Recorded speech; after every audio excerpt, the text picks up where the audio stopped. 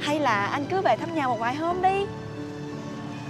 Mẹ anh muốn anh về để xem mặt con dâu tương lai đấy. Hả?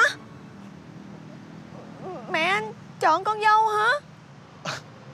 Ừ Mà nghe nói là cô ấy xinh lắm.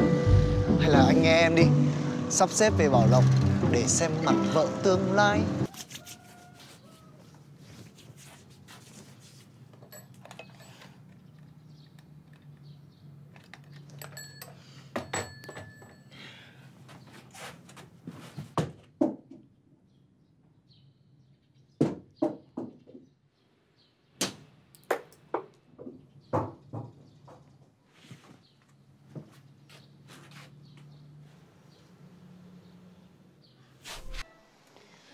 Chị là như thế nào với anh Việt?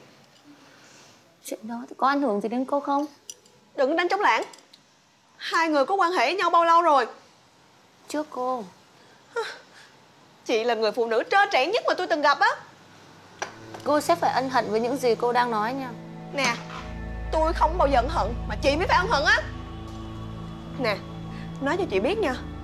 Tôi là người yêu chính thức Và sau này sẽ là vợ của anh Việt á Người yêu thì có thể Nhưng vợ thì chưa chắc.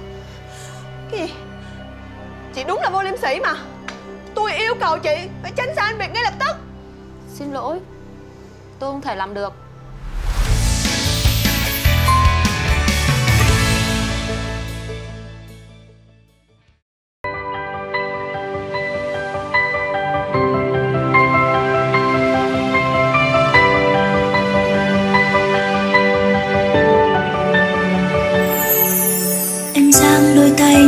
trời. Ánh sao lung linh tuyệt vời, gió đêm dịu êm, vuốt ve trên làn môi ấm áp. Đêm mang cho em nụ cười đêm trôi theo em tiếng hát.